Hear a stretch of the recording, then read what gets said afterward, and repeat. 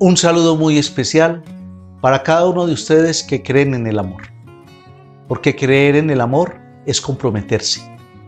Hoy en un mundo donde nos queda difícil creer en los compromisos. Porque es que no nos gusta a los seres humanos comprometernos. Pero ustedes son unos valientes. Porque ustedes han decidido comprometerse. Ese es el sacramento del matrimonio. Ese es el matrimonio realmente. Vivir el compromiso del amor. Ustedes están realmente poniendo un reto a la humanidad, como lo decía ahora, a la humanidad que no queremos compromisos. Todo lo que huele a compromiso, como que queremos sacarlo de lado.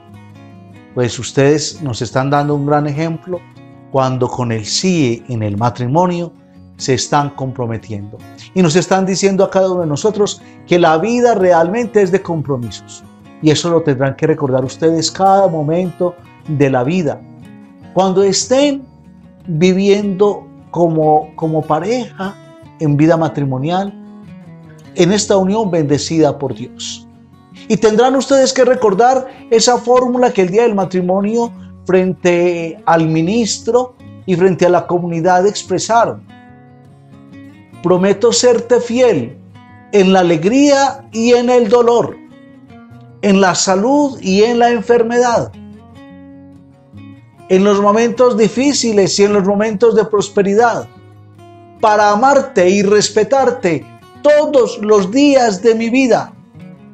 No es para amarte y respetarte del lunes a viernes, porque el sábado me voy con mis amigos, me voy con mis amigas, me olvido de la familia y entonces voy a estar todo el fin de semana entretenido con los amigos en la rumbita o en, los otros compromisos sociales. No, mis queridos hermanitos, esto es de todos los días, 24 horas al día y todos los días de la semana, para hacerte fiel en la alegría, en el dolor. Cuando estemos en esa prosperidad como, como familia, amémonos. Y cuando estemos pasando dificultades, como en este momento, amémonos. No nos maltratemos, amémonos, respetémonos. Porque es que esa fue la promesa que yo hice el día que valientemente adquirí el compromiso del matrimonio. Igual, hoy quiero recordarles, si usted dirá, ay, pero este padre está pasadito de moda. Qué bueno que no olvidemos la argollita matrimonial. Esa nos recuerda que hemos hecho un compromiso, que hemos hecho una alianza. Y tomo esta palabra alianza porque ahorita precisamente desde algunos textos bíblicos quiero que profundicemos lo que es la alianza. Porque es que Dios tiene, hace una alianza con su pueblo. ¿Cuál es la alianza que Dios hace con su pueblo? Ustedes serán mi pueblo y yo seré vuestro Dios.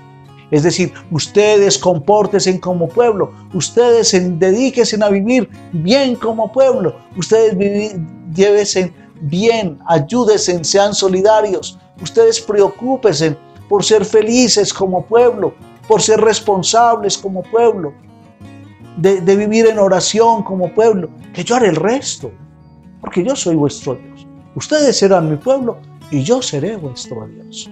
Esa es también la alianza que Dios hace con nosotros. Jesucristo hace una alianza también con la humanidad y una alianza sellada en la cruz. Una alianza sellada con sangre. Una alianza sellada con entrega. Y al resucitar, fortalece y sella la alianza. Pues nosotros, cuando también nos ordenamos, hacemos una alianza con Jesucristo, nos aliamos y por eso debemos de vivir y ser fieles en, en la iglesia para predicar y llevar el Evangelio, los sacramentos y para hacer presente a Dios en el mundo. Ustedes como matrimonio, igual, es igual es una vocación. Es la alianza que ustedes han sellado para ser fieles, amarse, respetarse, ayudarse para seguir luchando. Si el uno se cae, el otro lo levante. Para que no estemos justificando actitudes y echándole la culpa al otro, sino que seamos responsables de cumplir la alianza que hemos hecho y que entre ustedes han hecho para vivir en familia. Yo quiero que miremos este Génesis capítulo 3, versículo 12. Porque es que a veces es tan fácil yo sacar disculpas para no cumplir la alianza. Porque es que a veces es tan fácil yo decir que es que es el otro o es la otra la que no me colabora y entonces yo por eso no puedo vivir bien el matrimonio, por eso yo no puedo ser fiel, es que me está impulsando para que yo cometa errores. Es que la que tiene la culpa es ella. Es que ese mal genio de ella, Padre, es terrible. Padre, es que ese descuido de él, que es tan frío, es él. A veces, para no cumplir la alianza, cada uno de nosotros, en el, en el puesto en que nos encontremos, sacamos una disculpa. Y miren lo que nos dice Génesis capítulo 3 versículo 12. La mujer que me diste como compañera me ofreció del fruto del árbol y comí. Fue ella, fue ella, o sea, yo no. Esa, la que me dice por compañera, fue la que me indujo para que yo cayera. Es que es ella la que con ese mal genio hace que yo no me amañe en la casa, entonces me vaya a buscar afuera lo que no se me ha perdido y así yo rompa la alianza que he cumplido que he prometido como esposo. Ah, es que es esa frialdad de él. No, es que él es tan frío. Es que él es tan indiferente. Él es el que me ha llevado realmente, Padre, a que yo me vaya a buscar lo que no se me ha perdido fuera de mi hogar. Entonces, hoy precisamente es, debemos de fortalecernos en esta alianza. Recordemos, queridos hermanitos y hermanitas, que eh, el sellar esa alianza los hace a ustedes una sola carne.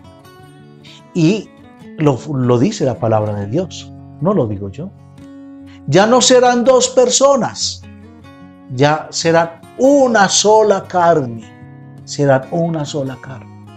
Y si son una sola carne es porque esa alianza es muy fuerte y porque yo debo luchar para que no se rompa esa alianza para que realmente seamos una sola carne. Por eso yo ahorita les decía, qué bueno, este signo externo de la argolla, pues llevarlo. Va a servir mucho que ustedes no han visto, bueno, esto puede pasar en las novelas, en la vida real no creo que pase, pero que cuando van a cometer de pronto sus fechorías, entonces se esconden la argolla y empiezan como a quitarse la argolla, porque es que la argolla matrimonial les está recordando que han vivido una alianza, y que ya no son dos personas distintas, sino que son una sola carne. Y que cuando yo estoy traicionando, me estoy traicionando a mí mismo porque soy una sola carne. Entonces, es muy importante esos signos externos para que recordemos esa alianza que hemos vivido. Cuando el día del matrimonio, a veces están muy nerviosos, ¿sí? Padre, ¿en dónde me hago? Eh, la recibo en la puerta, eh, hasta dónde tengo que ir, o usted qué me dice, o salgo corriendo, o si hay una, una puerta de aquí atrás para irme. Están un poquito nerviosos y uno les explica y lo, han ensayado.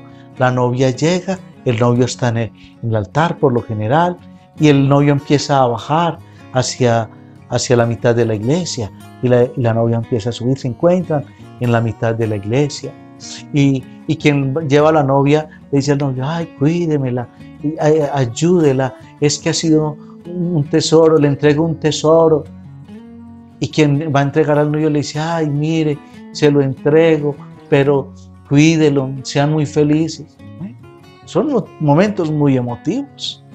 Y que luego los dos siguen juntos hacia el altar. Para que allí ya se empiece la ceremonia. No es solamente un formalismo, no es un formalismo. Tiene su sentido también. Tiene un sentido y un sentido muy profundo. Es que están de alguna manera ya describiendo esa alianza. Vienen por dos partes distintas, es decir, son dos personas totalmente diferentes que se van a encontrar para que luego juntos caminen y caminando lleguen al punto donde van a hacer su alianza. Y ya haciendo su alianza y poniendo a Dios por testigo, estando ya en esa alianza matrimonial, ya cuando termina todo el, el rito matrimonial y termina la Santa Eucaristía, ya no sale cada uno como llegó por su lado, ya salen juntos, porque ya han sellado la alianza, porque se han comprometido y no son dos personas distintas, sino una sola carne. Por eso salen ya juntos. Y eso es lo que deben de recordar todos los días, todos los días. Y, y ahora que ustedes se están preparando para el matrimonio, ustedes deben de sincerizarse para que cada uno de ustedes se ayude. Y quizás cada uno con sus fallas, no nos digamos mentiras. Hay algo que yo no me voy a mostrar del todo. Pero, pero que realmente no sean, no se engañen. No se engañen, no hayan engaños profundos, porque es que mire que luego van a ser una sola carne. Y después vienen, pero es que era tan distinto cuando era mi novio. Pero es que era tan distinta cuando era mi novio. Si ahorita es que tienen que amarse y permanecer más unidos, porque son una sola carne. Y esa es la alianza que yo tengo que vivir.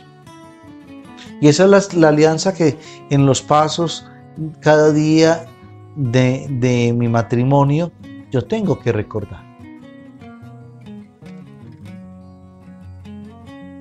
Es muy importante y uno de los consejos que yo le doy a las parejas es que el día del matrimonio, por lo general, graban la ceremonia. Graban la ceremonia. Y cuando. Y también hay fotos. Y yo les digo, cuando lleguen esos momentos difíciles dentro de la vida matrimonial, porque pueden llegar, y es que van a llegar, hay momentos que van a ser difíciles. Es que si yo en mi casa que me crió con mi hermanita y mi hermanito, que somos del mismo papá, que nos dan la misma comida, que nos dan la misma educación, que somos de la misma cultura, de la misma ciudad. Yo peleo y tengo diferencias.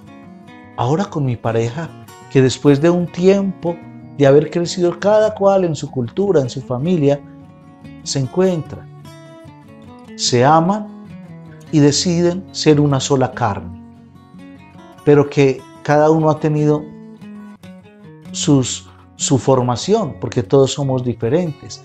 Y es ahí donde esa alianza tiene que empezar también a funcionar. Y, en los momentos difíciles es porque cada uno saca a relucir su, su propia personalidad. No quiere decir que cada, cada uno ha perdido su personalidad, ¿no? Siguen siendo una sola carne. Cuando se nos habla de la Santísima Trinidad, dicen, pero yo no entiendo, tres personas distintas y un solo Dios verdadero. Eso sería para otro tema que llevaría una, una catequesis y una reflexión Pero yo les digo, por ejemplo, ustedes que son una sola carne, aunque cada uno conserva su cultura, cada uno conserva su personalidad, es una unidad trinitaria, como la Trinidad. Ustedes son dos, la Trinidad son tres, pero ustedes es, esa unidad semejante a la Trinidad, son inseparables. Y, cada, y cada uno tiene culturas muy diferentes que le tiene que aportar a la cultura del otro o de la otra. Y, esto tiene que servir es para crecer.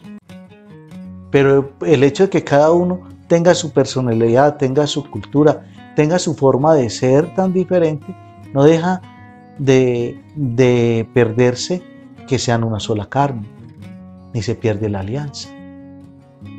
Y, precisamente esas dos personas a veces tan distintas son las que dan mucho fruto. Entonces, cuando lleguen esos momentos de dificultad, porque cada uno es diferente, yo los invito a que vuelvan al amor primero, como nos lo dice la palabra del Señor. Cuando el pueblo de Israel estaba como desanimándose, se estaba como desviando, les dice el profeta, vea, vuelvan al amor primero, vuelvan al amor primero. Cuando uno vuelve al amor primero, uno como que vuelve a renacer y vuelve a tomar aire. Vaya, miren esas foticos o ese video del matrimonio. Ese día cuando estaba tan feliz, ese día cuando decía, sí, no, es que esto es lo máximo, es que estoy feliz, es que sí prometo, prometo, y que cuando le estaba poniendo la argolla le decía, yo, fulanito de tal, te recibo como mi esposa y me entrego como tu esposo y prometo serte fiel. Y que este signo externo de nuestro amor perdure por siempre. Todas esas palabras que, tuvieron, que dijeron el día del matrimonio. Y cuando se abrazaron y cuando se dieron el beso. Nadie se debe casar pensando de que el matrimonio es para tres meses. Todo el que llega al altar debe de tener la convicción que es hasta que la muerte lo separe. Hombre, que pasará algo en el camino y que ya miraremos. Pero uno no tiene que ir predispuesto. Si usted ya va predispuesto o predispuesta a que no es que esto va a ser por un tiempo, yo sé que sí.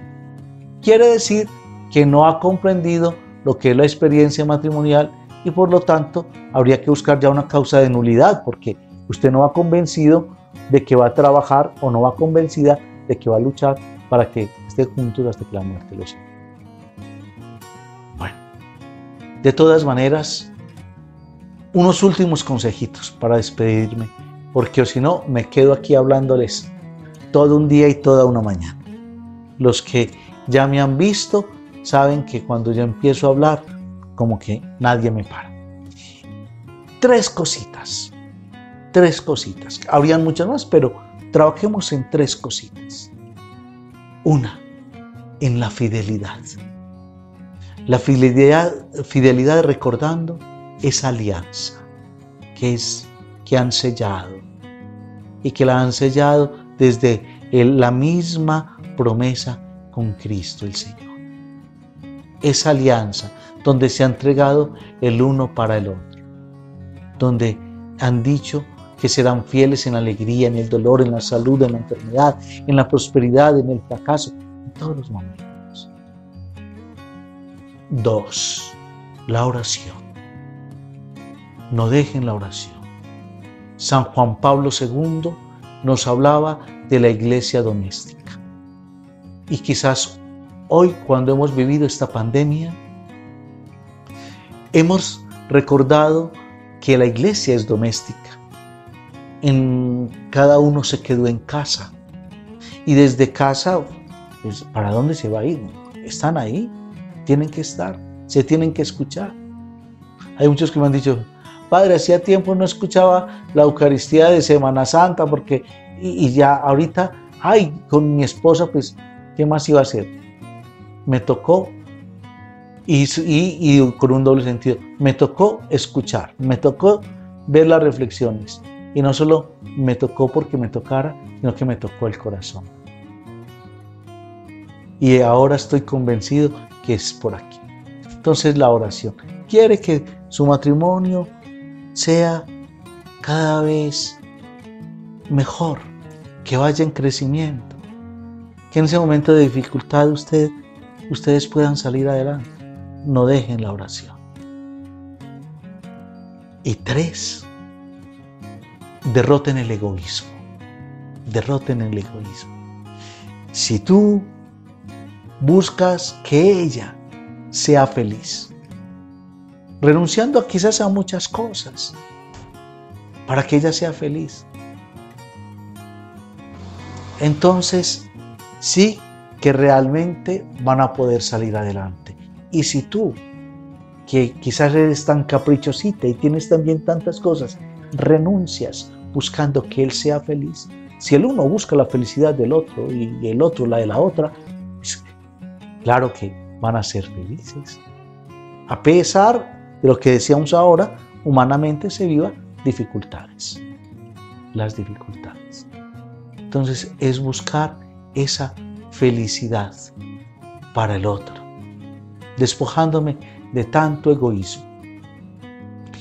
Recuerden que cuando se casen, no pueden seguir viviendo como si estuvieran solteros. Y es que esa es la dificultad, hijitos, no ve, esa es la dificultad. El cura quiere, puede pensar que va a vivir como si ya todavía no se hubiera ordenado.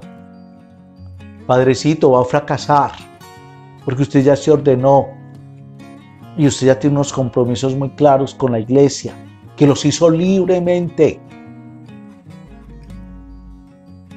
Ustedes cuando se casen, no es que yo me voy a ir a bailar, pues no, usted ya no es el adolescente, usted ya no es el soltero, es que ya tiene un hogar, allá lo está esperando su esposa. Es que ya no es adolescente que estaba soltero y no tengo ningún compromiso, no, no. Y si hay hijos, pues más. Ay, no es que yo me puedo ir toda la tarde con de mis amigas. Recuerda, si, lo puedes hacer, bien, pero sin, sin, descuidar el compromiso, porque es que ya no eres la, chica soltera que no tengo ningún compromiso. No, ya hay compromisos. Y eso es lo que nos pasa a la humanidad. Cincuentones como yo, queriendo vivir como adolescentes de, de 17. No, señores, nos equivocamos, nos estrellamos Así de sencillo. De todas maneras, me alegra muchísimo por poder haber estado con ustedes. Otro tema que luego tendríamos que, del que hablar es sobre la libertad para adquirir este compromiso. Esa libertad que tú debes de tener para poder que este compromiso sea válido. Que el Señor los bendiga, que el Señor los fortalezca y desde ahora un abrazo muy especial, lleno de bendiciones, deseándoles que sean muy felices y que nos sigan dando testimonio de compromiso que harto necesita la humanidad. En el nombre del Padre, del Hijo y del Espíritu Santo.